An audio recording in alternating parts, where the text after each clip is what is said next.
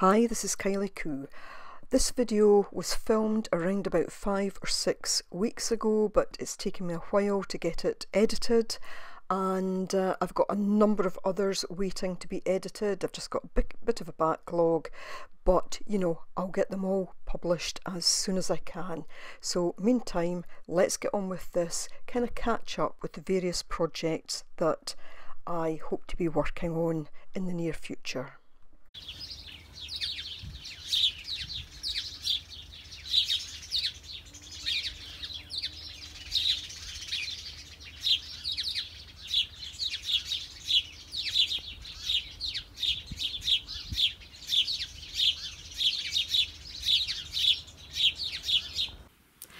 Hi, it's Kylie Coo. Welcome to my studio. So, the little clip at the start was taken on Saturday, just I think after I'd finished my page in my 52 week concertina journal. I'll say a bit more about that in a minute. I know some of you like to see the garden, so I just thought I'd include a little bit in it. So, I'm calling this a studio vlog, art studio vlog, whatever. I just thought it was a little while since I'd given you a kind of update on the number of different things that I've got on the go. Also because when I put that video up on Sunday with this page, I said something to the effect that, you know, I wondered where I was going with my channel and so many breaks away from it, etc. And I think I kind of set hares running. I'm not planning to leave. I'm still here. Can't say I'll be here for always. Well, I won't be here for always. We all know that. But uh, yeah, I think it's just sometimes when I've been away for a few weeks, it's then just hard to get back into the groove, to get that kind of rhythm again with making videos, filming videos, and then everything that goes with it. So Sorry if I did kind of set hares running, but thanks for all the lovely comments you all left anyway. Basically saying I needed to do what was right for me. Many saying you hoped I didn't go, but even if I could only do the occasional videos. So I do want to do regular videos. I'd like to do a couple a week. My reason for starting this journal was so that I would do at least one a week. Now, obviously, if I'm not at home, it's much more difficult to film. So but, you know, I'm hoping I'll be back on this. But as I said before, you just never know where things will take us.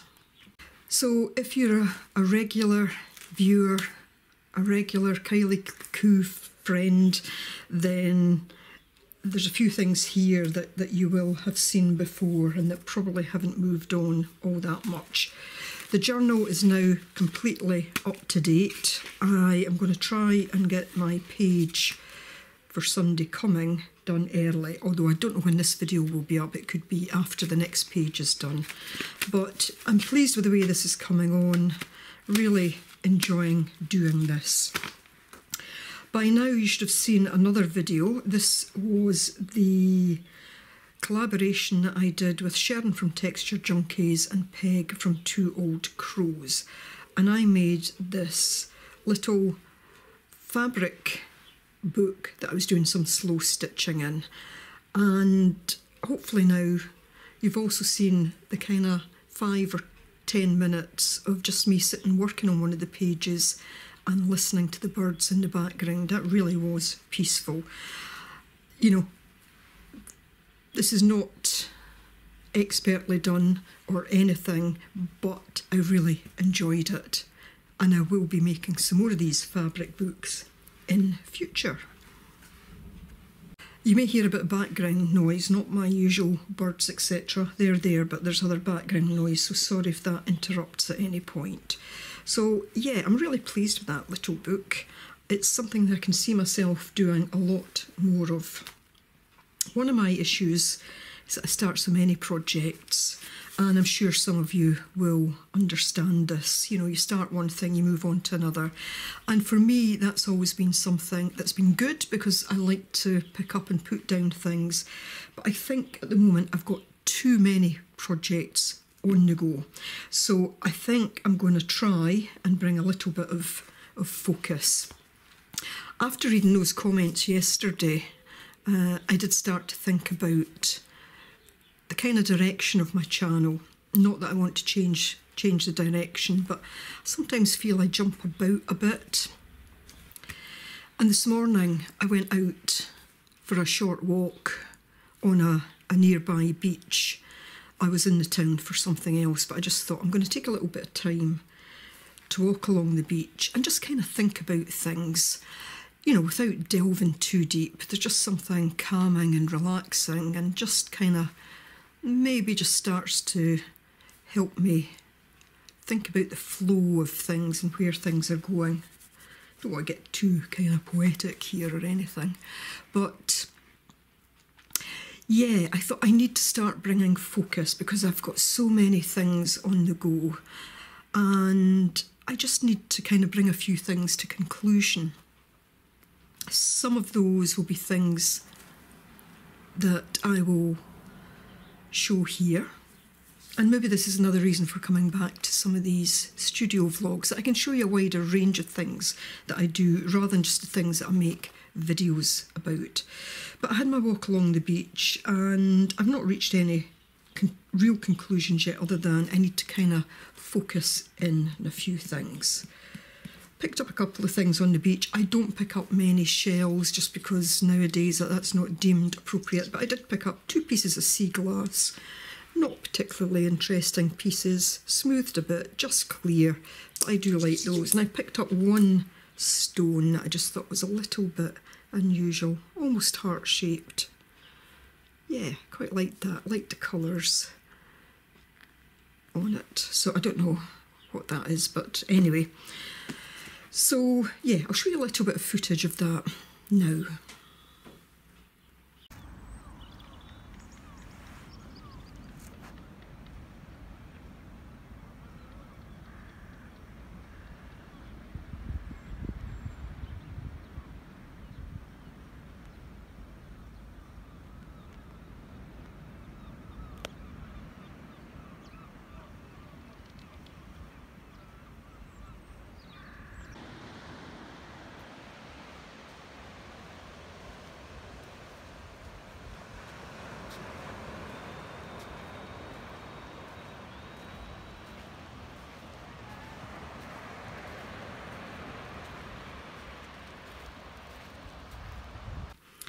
So being out in nature, whether it's walking through woodland, up hills, not that I do that very often now, or, you know, I'm by the sea, or even just in my garden, it gives me inspiration. But that inspiration now isn't always turning into a kind of real output. And that output might be, you know, when I'm talking about output, it might be no more than kind of sketch influencing something in my sketchbook, but I'm not even taking it that far these days, so I need to change that again.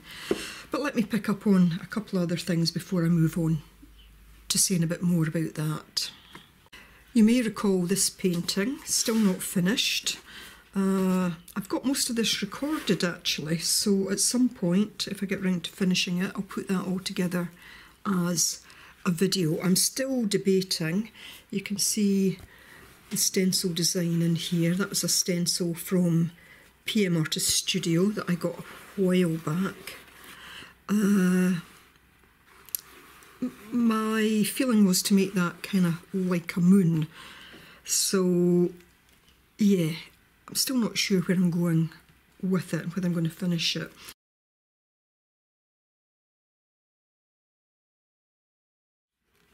So put that to the side. This is my little scrappy junk journal. Now I've done nothing in this since the last time I put a video up on it.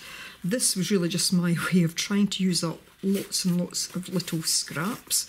Quite a fun little journal, cardboard cover, and you know, just abstracts, so I need to do a bit more because I enjoyed working in this. Yeah, so I'm going to try and maybe do some pages in that and, and maybe record those because I think there was a few of you quite like that. So that off to the side. This was a book that I started oh two years ago maybe maybe a bit longer I don't think I dated the pages this was intended just to be a collage book ended up bringing in some paint etc only did the two pages I think they're both I think there's videos for each one, so I will link them if I can find them. But I think I'm going to start getting back to this and doing a bit of a collage in this, whether it's daily or every few days, don't know. These are wooden uh, plywood panels. I did start to prep these in a studio vlog ages ago.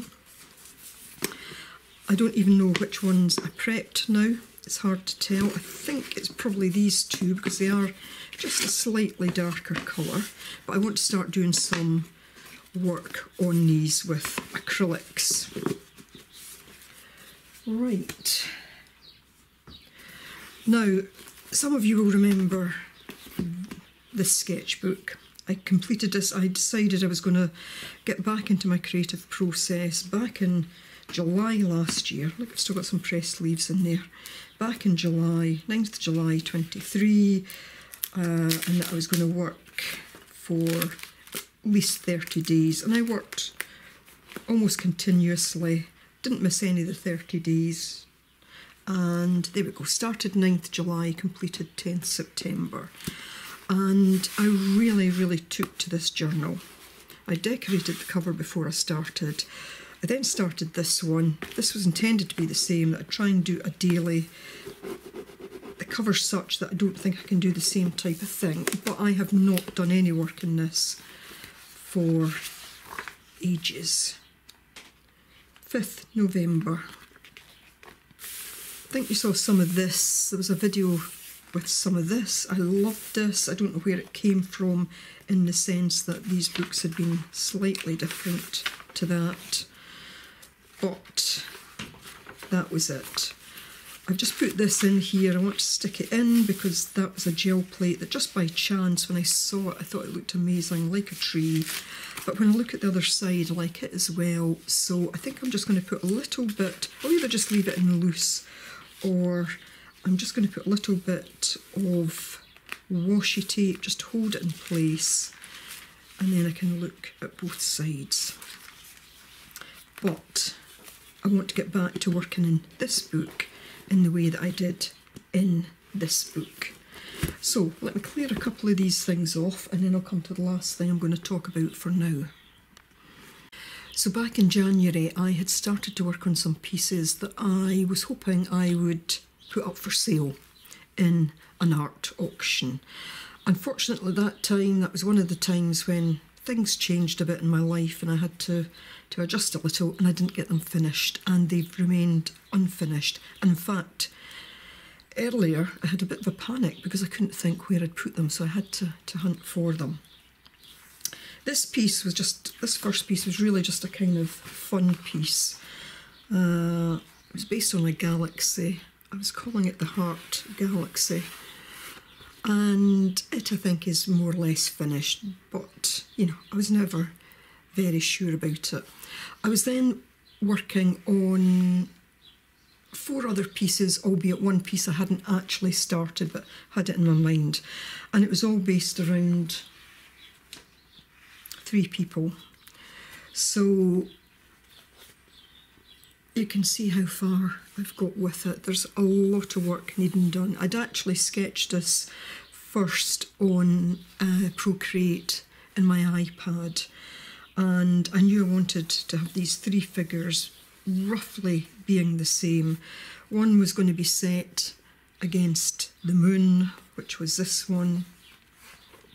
One against the sun, which was this one. You can see there's a lot of background collage in here. You know, they need a lot of work, not just on their faces, but to bring this out a bit more. That had collage as well, but it's kind of got lost with the layers of paint. And then finally this one, I've got this stuck to my mat. So, oops.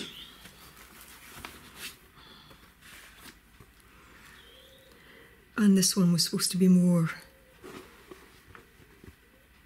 out in the universe.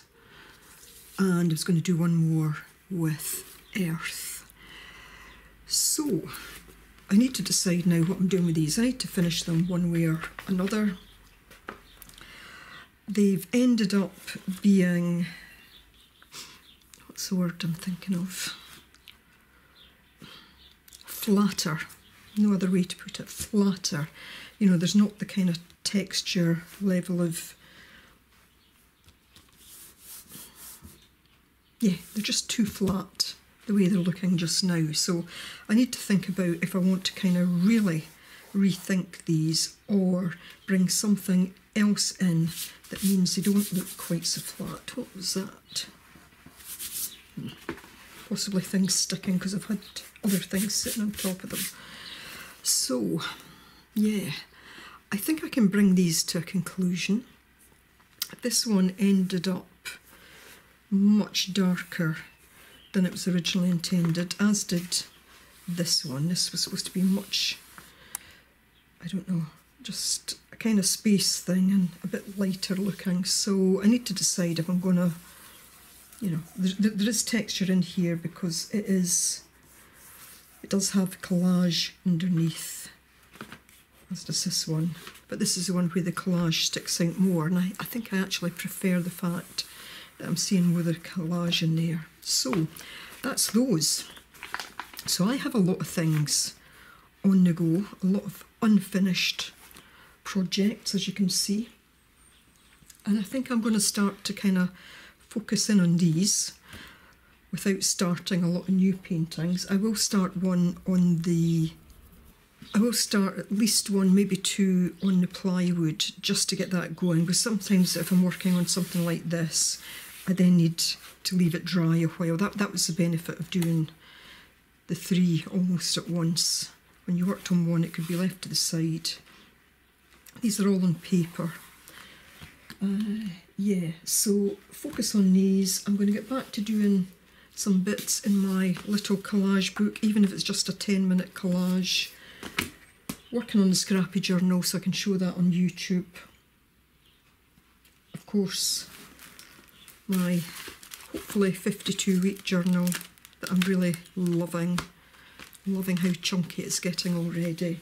And getting back to my big sketchbook. So yeah, right, it's Monday, so we'll see how the week unfolds. I'm not here tomorrow, for most of tomorrow anyway, but uh, I'm going to try now and even get an hour a day in if, if, you know, just to bring that focus I need to have some time every day to do that. So, right, starting to ramble now, so I shall move on and uh, be back in a minute or two.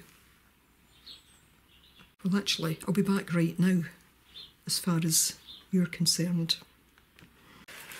So, it's much further on in the day now, and I have actually spent since I was last on speaking with you. I've spent really, other than stopping for a bit of lunch, I've spent all that time working on editing.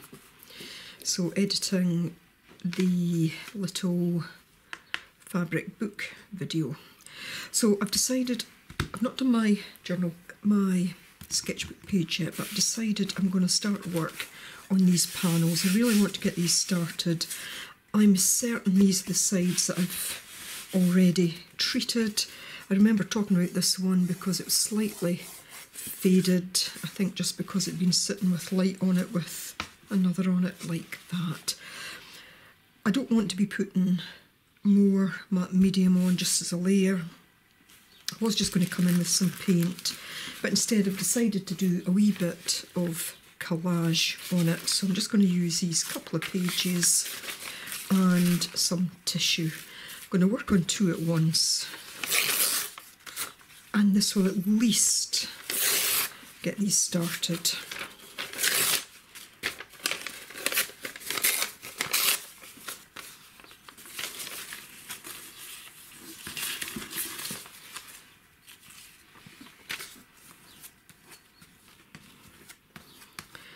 Just feel that a bit of collage will give a nice kind of base layer for this, even if they get completely covered in the process of painting.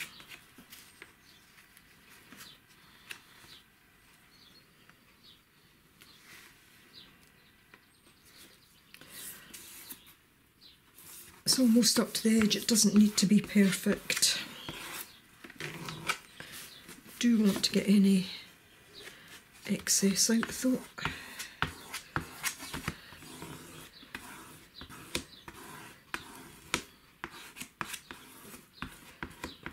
couple of wrinkles. I don't mind if it ends up going over the edge because I will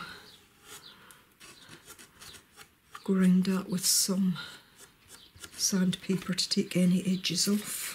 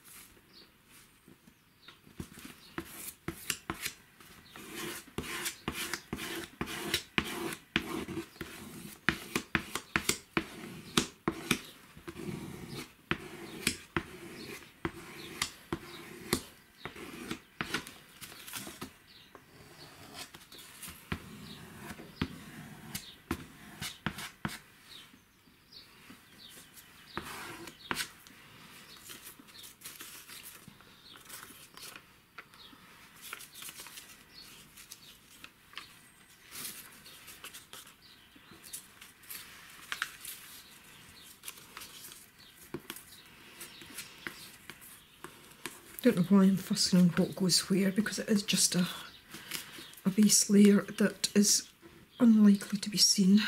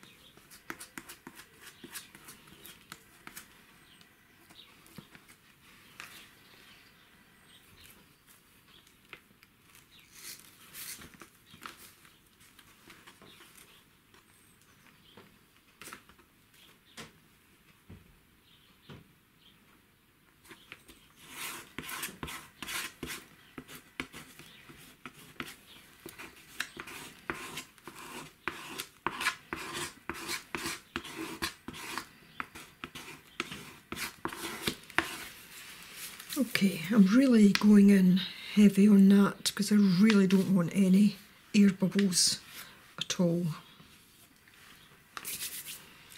Right, some of this now, and I'm just, I'm going to mix the same things over both pages, both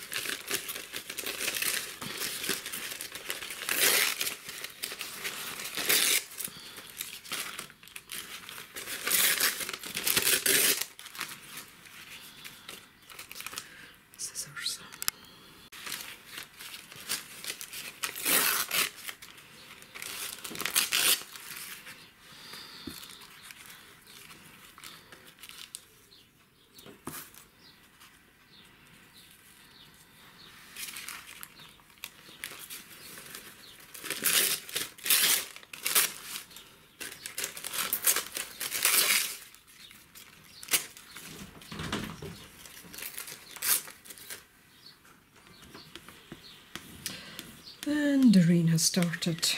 Surprise, surprise. Right, I've not got every centimetre covered, but that's okay because I think what I'll do after this, well, tomorrow, I'm going to let this dry out.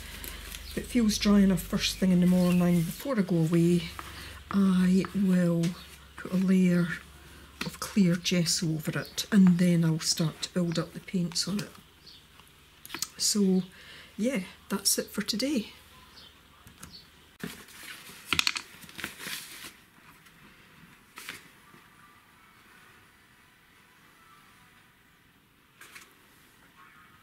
Right, it's Tuesday, around about 3.30 now. I did come into the studio first thing this morning, around about 8 o'clock, and uh, put a layer of clear gesso on these.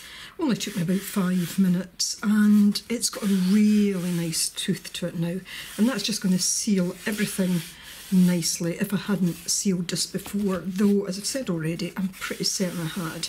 But it also means where there's these bits of wood where I've not put collage down, it should have sealed that now too.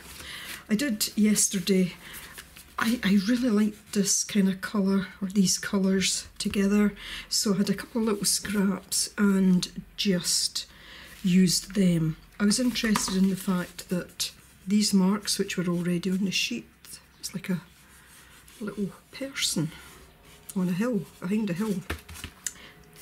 There we go.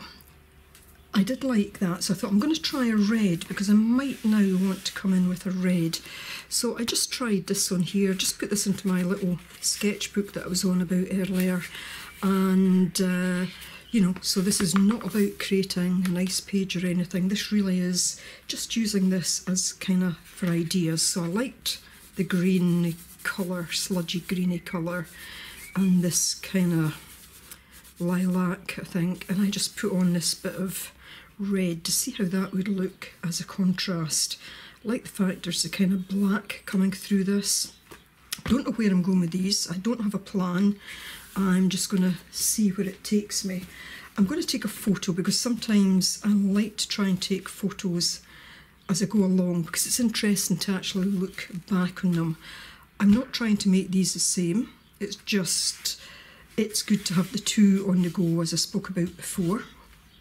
And, uh, you know, I might start off using similar products, but no doubt they will change as we go along. So, yeah, we'll see where it goes to, to next. Uh, I've just literally put up the little video showing how I attached one of the pages in my concertina journal and a flip through of where I am to date. So pages 1 to 16, albeit in the video I think I said 15, I am losing track of the weeks, but there we go. I love dictionary pages on these because I end up reading what's there. That really does look like a little person, doesn't it? Hmm, okay, that will change. Right, on we go then. Catch you again later. So it's editing Kylie here. I'm just going to whiz through this next stage where I add this red paint. I actually filmed a lot of what I did on these two uh, boards but it's really too much to show in this video which is already very long so I'll save that for a future video or perhaps I'll put together a process video of the completed pieces when I get round to finishing them.